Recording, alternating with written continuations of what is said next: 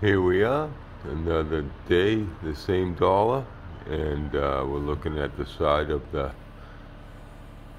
fireplace build here. Um, we're coming up on the left side panel, and we've been uh, slowly chipping away, using up all of our rocks, and we've been developing um, the left side panel gonna go up to the top of this stone here and then we're going to get a nice five inch piece of granite and that's going to go across the top here and we'll have our mantle with a return and then we'll start the upper part of the fireplace above the mantle.